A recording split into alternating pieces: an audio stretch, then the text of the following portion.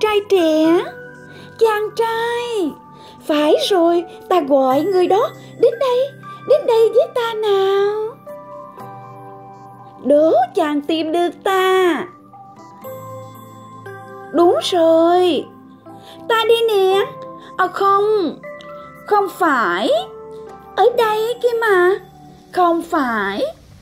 Chàng nhìn xem. Đừng sợ. Đến gần đây với ta. Phải rồi. Lớn thêm chút nữa. Nhìn xem. Hãy lại gần đây. Gần thêm chút nữa. Hãy chạm vào ta đi. Đúng rồi. Hãy đi cùng ta. Rồi chàng sẽ biết ta là ai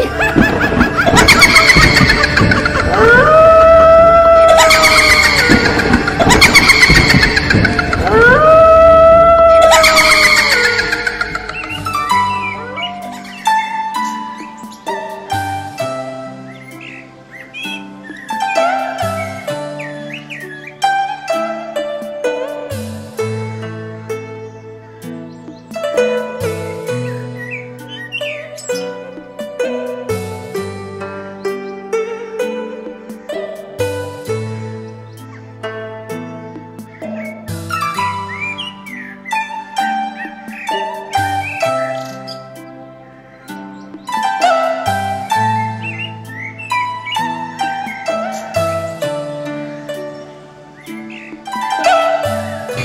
Xin cô nương thứ cho tội mạo phạm.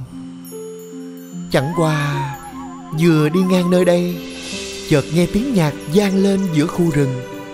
Lòng không khỏi tò mò Nên mới lần theo mà tìm đến. Chào công tử Hôm nay có duyên gặp mặt. Tiểu nữ xin hiến một khúc nhạc Hy vọng công tử đừng cười chê.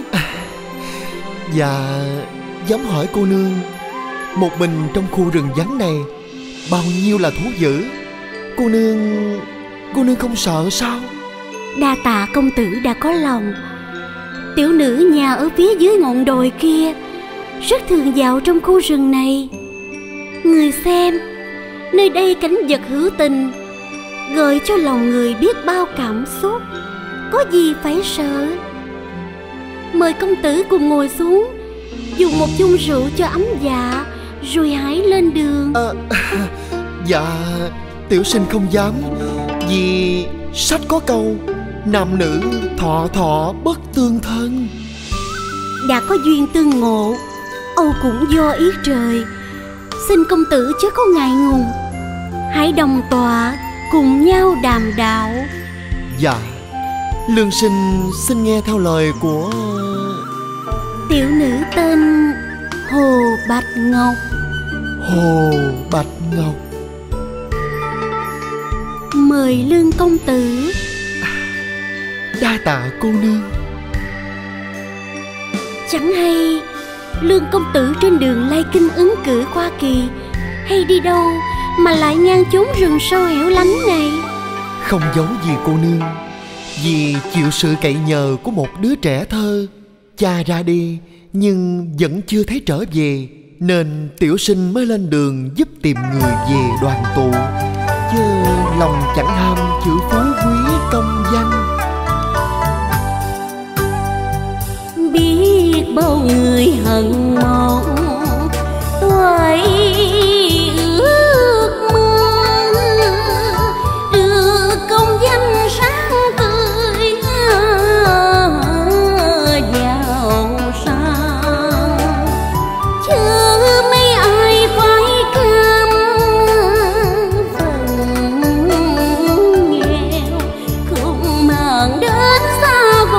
chỉ có hà chàng.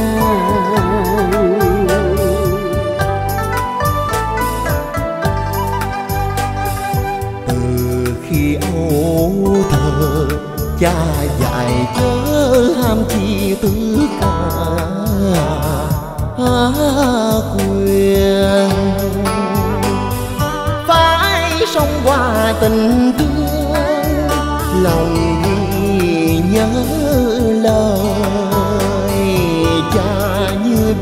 bên tai nghe nhân trọn niềm vui. Bước độc hành dân luôn cười tươi, không bần trí đua chen công hầu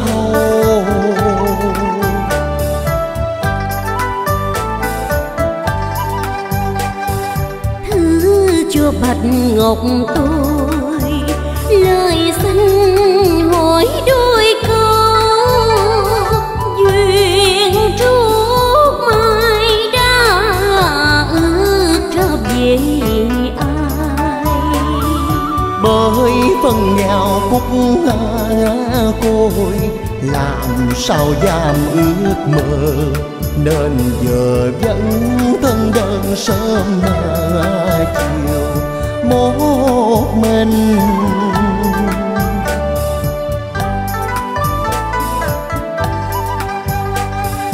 Lòng nghe sao thấy thương, muốn cùng sơn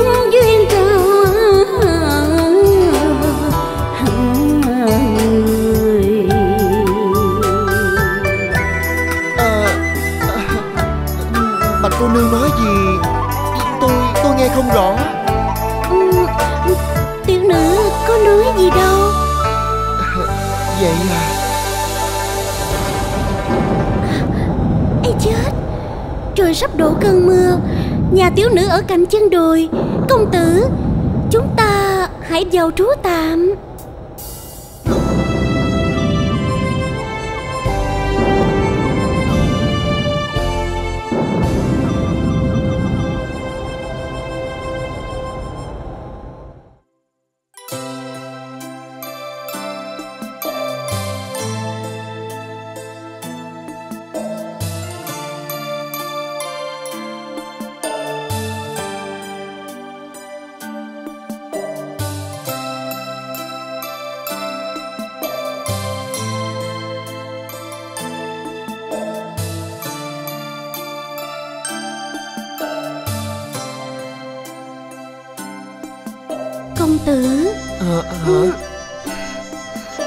công tử không nói lời nào hết vậy? Công tử có cách hay trò vui nào làm không khí vui lên được không? Tôi à, cô nương à thứ cho tôi đường đột. Một cô gái như cô tại sao lại ở nơi quan vắng này? Thật là kỳ lạ quá. Nhà của cô ở đâu hay là Cô từ nơi khác tới? À, Bạch Ngọc Không có cha mẹ Mồ côi từ thuở nhỏ Không nơi nương tựa. Có một đại thúc thương tình Nhận làm nghĩa nữ Và đem về nuôi dưỡng. Tháng trước Nghĩa phụ dẫn tôi đi về quê thăm người thân. Đi ngang nơi này Đột nhiên lâm trọng bệnh. Qua đời. Thật vậy à? Sau khi lo hậu sự cho người Tôi không biết phải đi đâu. Nên ở tạm chốn quan giả này. Một mình cô ở đây Không ai chăm sóc. Chắc là Cô cô đơn và buồn tuổi lắm. Vì vậy cho nên Bạch Ngọc chỉ biết làm bạn với cỏ cây muôn thú để vui sống qua ngày. Nghe cô nương bày tỏ Thật là tội nghiệp biết bao. Thân gái nhan hồng lại chịu quá nhiều cơ cực Khiến cho lương sinh này Cũng thấy thương tâm.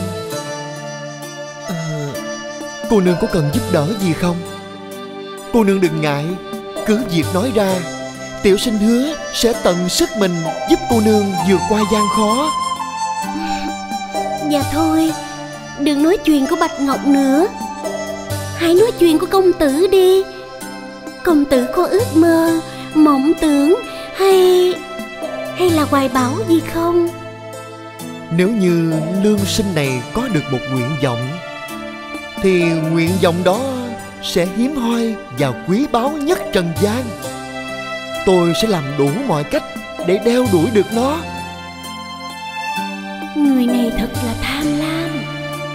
Nhưng mà được như bây giờ tôi đã quá hài lòng. Không có mộng tưởng cũng không còn nguyện vọng. Nếu như hỏi tôi cần gì có lẽ tôi chỉ muốn ngủ một giấc thật ngon. Đương nhiên là đúng rồi. Cô nương cũng đã khuya rồi. Tôi không làm phiền cô nương nữa. Đêm nay tôi sẽ ngồi ngoài cửa. Cô nương cứ yên tâm ngủ ở trong này không sợ ai quấy rầy. Cô nương hãy nghỉ ngơi nha. Ý ý khoan đã. Sao mà người không đi ngủ? Sự an toàn của cô nương là quan trọng nhất. Còn tôi thanh niên khỏe mạnh mà. Ngủ ít một hai đêm cũng không có gì đâu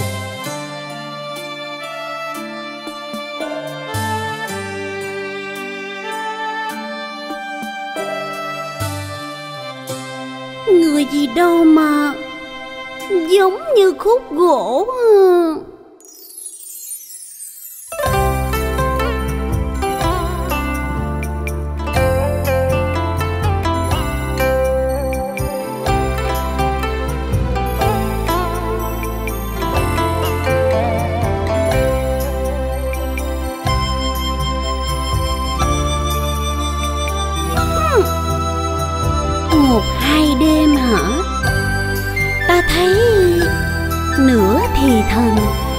Cũng không chịu nổi à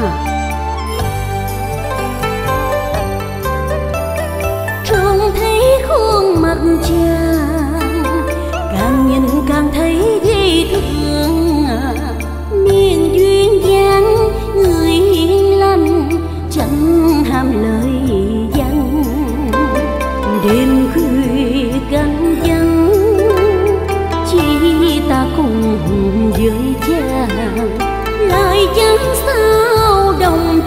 lòng. Người gì mà như cô nữ nhi cũng không mà nghe xuyên sao tâm hồn dồn dập nhịp trong tim liền hồi. Mắt bừng như lửa, châu thân nóng rang, khó ta được lòng ta. Ngập tràn hôn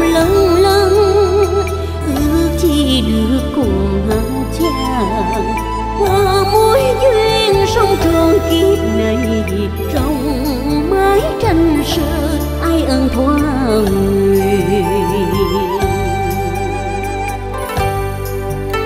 nếu như mà tôi bạch ngọc nghe suy nghĩ gì mà bậy bạ không à.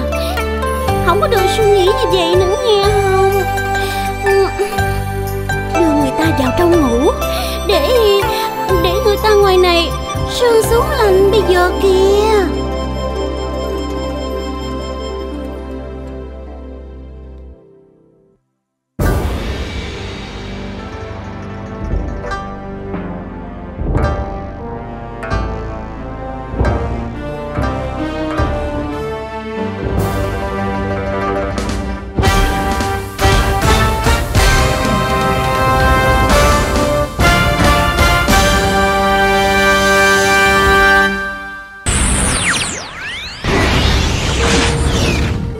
Không giấu gì cô nương.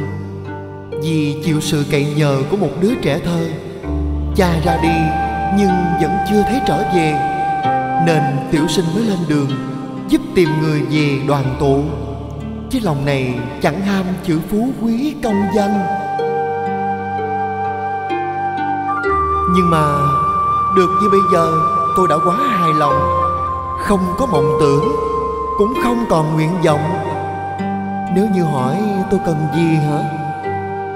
Có lẽ tôi chỉ muốn ngủ một giấc thật là ngon. Có thật không? Chẳng lẽ chàng thư sinh này không có mộng tưởng?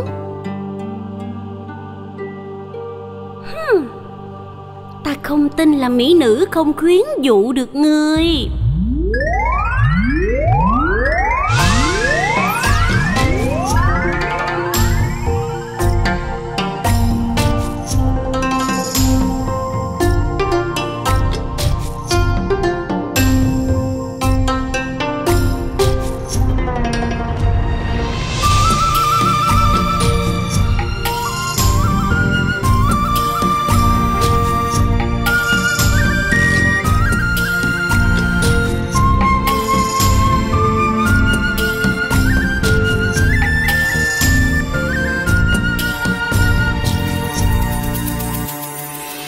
Tươi đang khuyên sắc thoa hương thơm đón mời khách tao nhân hai nào bước vào. Vui say mê ái tình cùng trao nhau phút giây nồng thắm. Như cung tiên thoa chí môi duyên tơ hơi vàng có sao ai nữ tâm phủ phàng. Trong khi bao bướm hồng cùng tranh nhau để mộng hương xin đừng yêu thương tôi giúp một hàng sinh nghèo nàn. Không mong chi sánh cùng tìm hương tương lai phía trước mịt mờ không, mẹ cha làm sao đứng sinh này lại dám trèo cao? Nghe lời ai trao thêm khuyến sao càng thêm yêu chàng, mong quyên ương thắm nguyện ông tơ xui khiến cho mình tương cùng chi làm cho con tim giờ đây ngỡ ngây. Ai kia sao hơ hứng yêu không chê, thiết nguyện cớ sẽ duyên tốt từ đã vàng bao giờ sang đón chờ, đừng buồn câu khước từ sao lại. thôi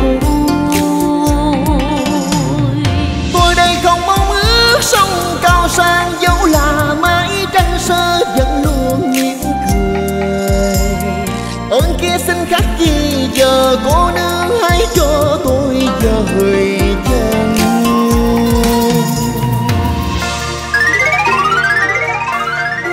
thì ra, không có tâm nguyện chính là tâm nguyện lớn nhất của chàng.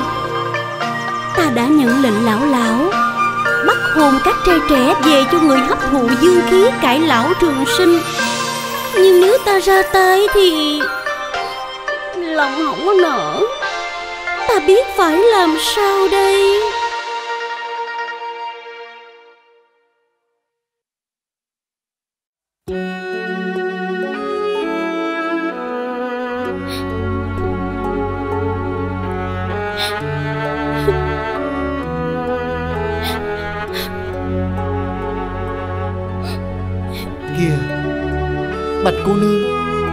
Tại sao cô nương lại khóc?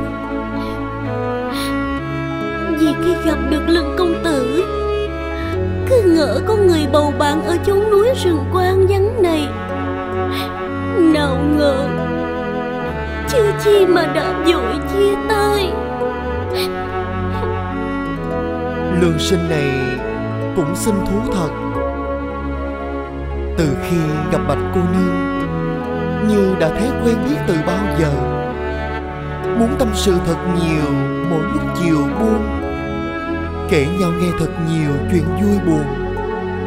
Lòng bỗng thấy, ra đi, chẳng nỡ. Ta lương sinh, cho dù miệng chàng chẳng nói ra, nhưng bạch ngọc thiếp đây cũng hiểu. Vì ánh mắt của chàng đã nói lên những điều sâu thẳm tận đáy con tim. Cũng như muội, tiếng lòng thổn thức. Muốn nói yêu ai, nhưng cứ ngại ngùng. Môi mấp máy, mà lời khó thốt. Bạch ngọc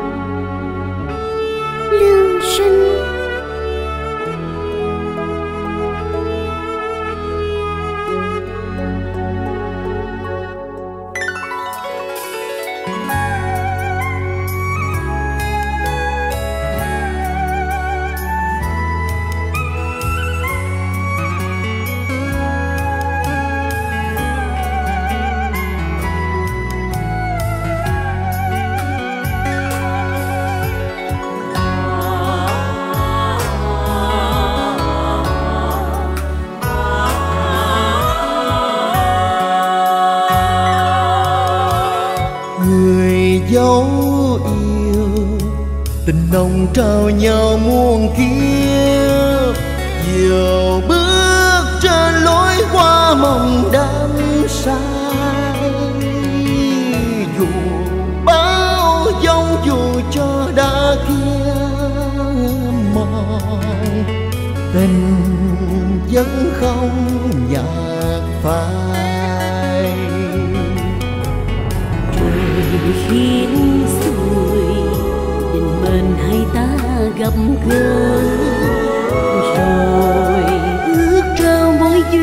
tình thầm tình thầm tươi. Được có ai khi bên đến khi bắt đầu mà ngỡ trong mơ màng. Cùng nhau dàn khúc hát yêu đương hòa nhịp đôi tim bồng cháy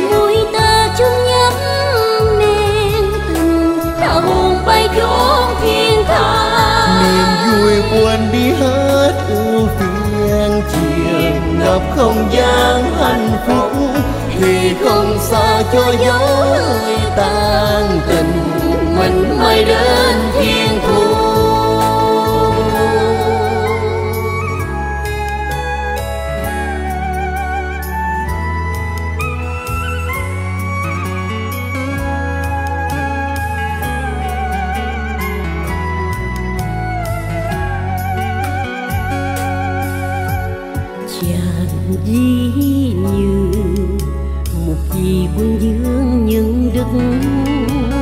nàng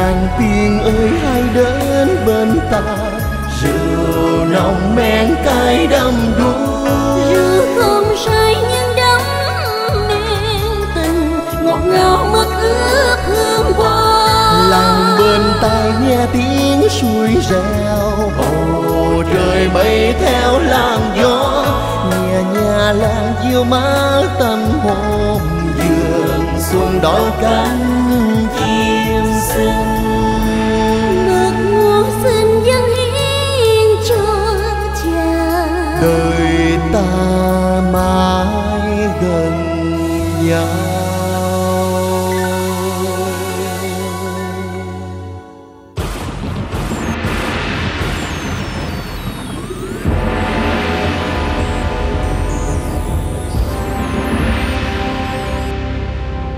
Bạch Ngọc tỷ Thì sao tỷ ở đây. Còn bắt được một thư sinh khỏe đẹp. Tỷ còn chần chờ gì nữa? Chẳng chịu bắt hồn và dâng lên lão lão. Tiểu thanh muội, ta nào dám cãi lệnh lão lão. Nhưng vì thấy chàng trai này lòng dạ thật thà ánh tình hiền lành nhân hậu. Nên không nỡ ra tay. Xin muội đừng bẩm lại với người. Hãy tha cho chàng trai trẻ này, rồi ta sẽ tìm người khác vào thay thế. Xem ra tỷ Đã phải lòng chàng trai này rồi phải không? Tỷ. Hả? Hai nàng nói gì mà ta đây không hiểu? Bạch Ngọc Nàng này là ai? Tại sao lại muốn ngăn cách tình ta? Tỷ tỷ Người và yêu khác biệt Chẳng thể dung hòa. Cho dù tỷ có yêu chàng ấy thật tình đi chăng nữa Nhưng khi đã biết được sự thật Người mình yêu là một hồ ly. Thì liệu người ấy có còn yêu tỷ nữa hay không? Nàng Nàng nói gì lạ vậy? Ai là người? Ai là yêu quái? Người thật là ngây thơ. Người con gái mà người yêu mến Không phải là người Mà là một hồ ly Hả? Nếu tỷ không nỡ ra tay Thì để muội giúp tỷ Đoán hồn chàng về dân nọ Thanh muội Đừng mà.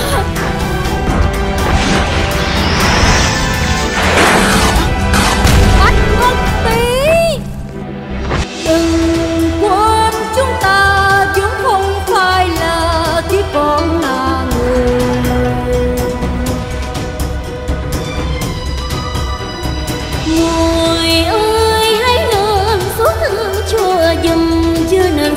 dứt tình.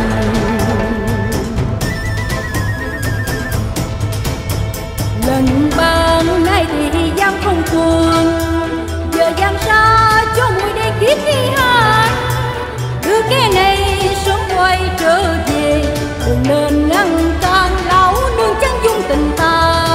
Thôi ơi sao trời già đành trêu chi?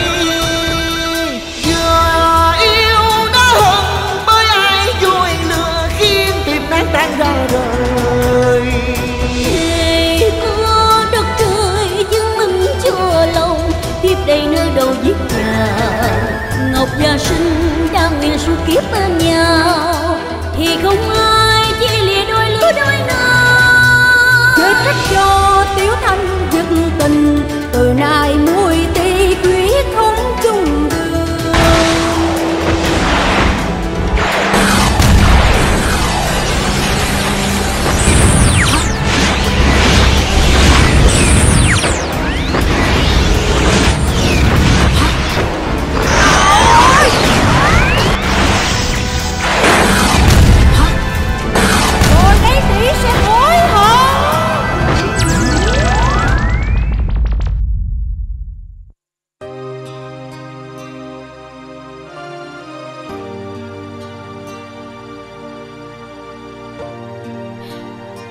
lương sinh.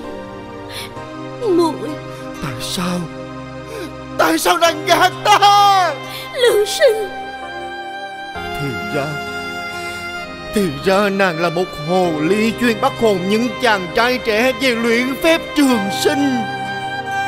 Vậy mà Vậy mà ta đã đem lòng yêu nàng say đắm. Thề hẹn cùng nàng suốt kiếp chẳng rời xa. Ta thật là khờ, Ta thật là khờ mà.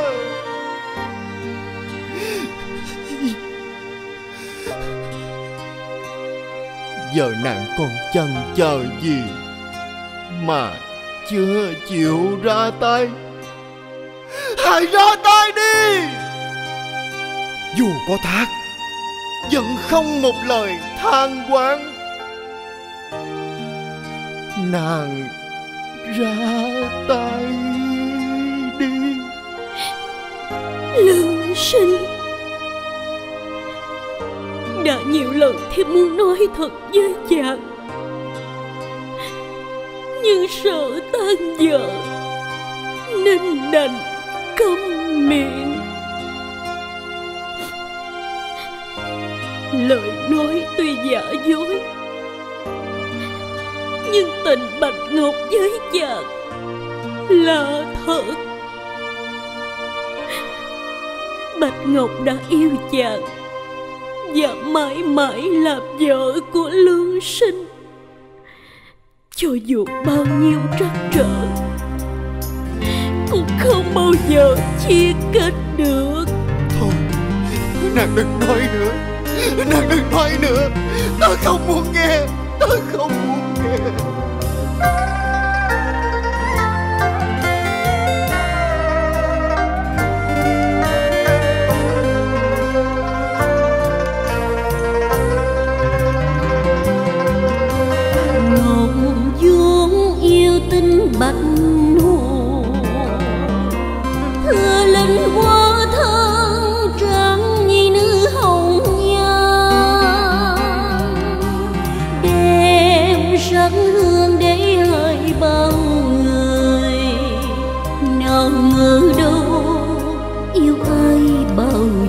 chẳng hay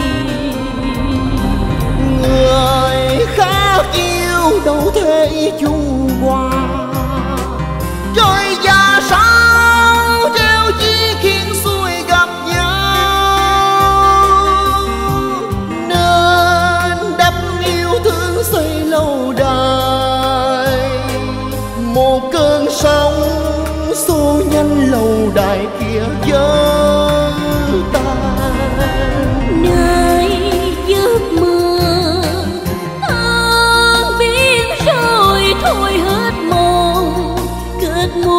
tình thế nhân.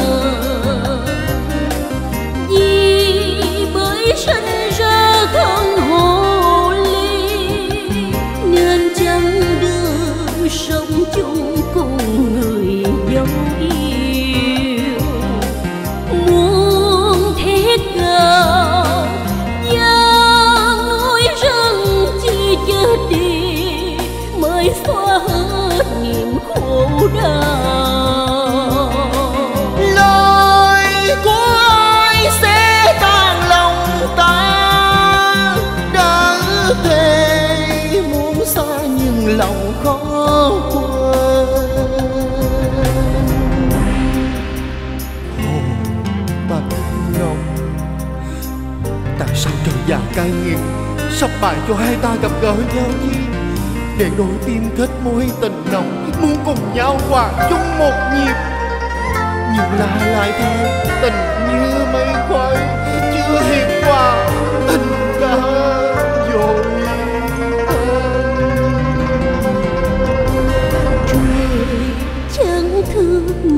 chia lìa mong cùng ai đến khi ta trút tan hơi yêu thiết tha hiến dâng cho người dù ngày mai tan thấy thân này chẳng tha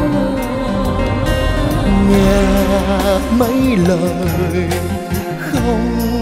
nỡ đành quyết mãi luôn bên nhau dấu ngàn bao dòng như cánh chim kia liền đôi ước suốt đời vẫn xa đường tình thâm tươi. Ta hai màu lanh chôn này mới mong thoát khỏi dòng hiên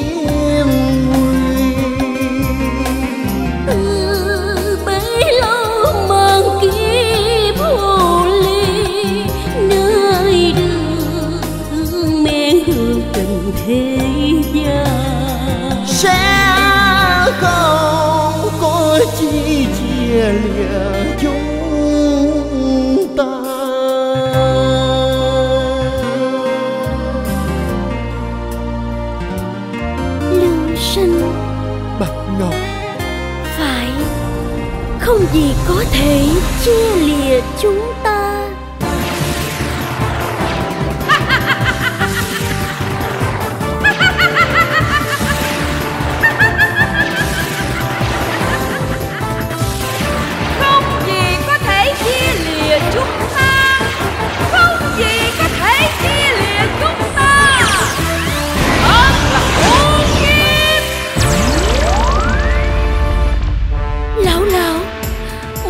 lỗi là do Hồ Bạch Ngọc.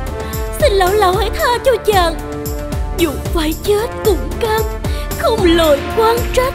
Mạng của ngươi còn không giữ được Thì mong chi xin ta tha mạng cho người. Giang sa Để ta nuốt hồn nó vào bộ thân luyện phép. Không Lão lão Không được hại chàng. Hôn kiếp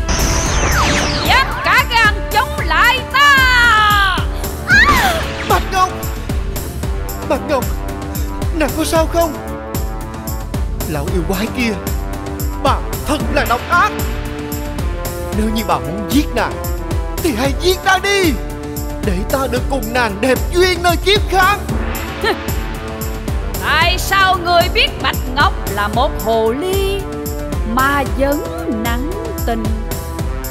Muốn chung chết vẹn toàn chung thủy à? Bạch Ngọc tuy là một hồ ly, Nhưng lại có một tấm lòng chung thủy. Còn hơn cả bao người trên dương thế, Tâm ác độc hơn cả yêu ma. Nên ta đã thề nguyện suốt đời, Câu đá vàng không hề phai nhạt. Ta sẽ cho nhà người toại nguyện, ta xử tội Bạch Ngọc trước, Rồi sẽ giết người sau. Hồ Tiểu Thanh! Dạ. Bắt tên thư sinh này lại cho ta. Tuân lệnh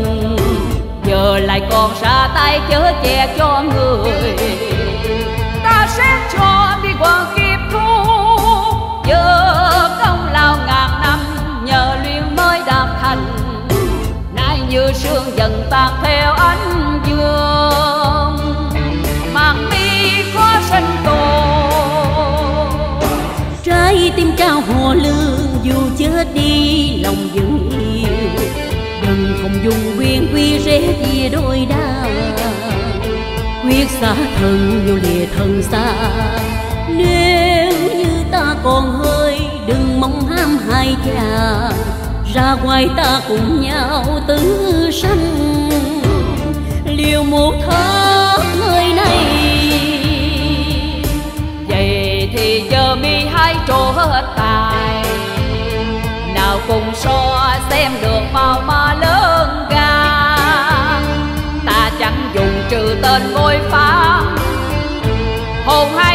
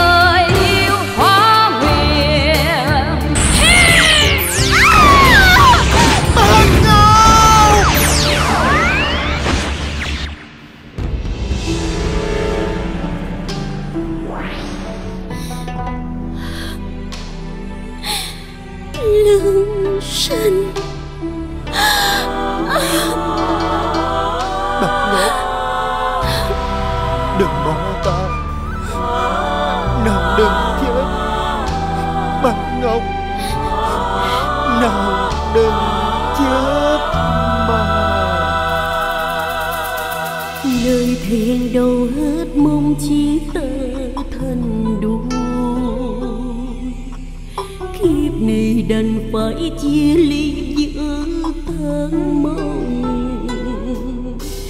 Đành hẹn lại kiếp sau chúng mình lại qua trước mai. Bởi phần số do trời, duyên mấy cơn bè bờ Nhìn nàng quăng quại đớn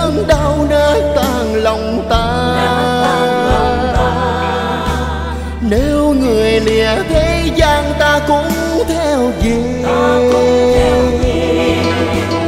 Mình lại cùng nắm tay nhau lại cùng về nước mơ. Lại hát khúc yêu đương mãi mãi. Không hề xa.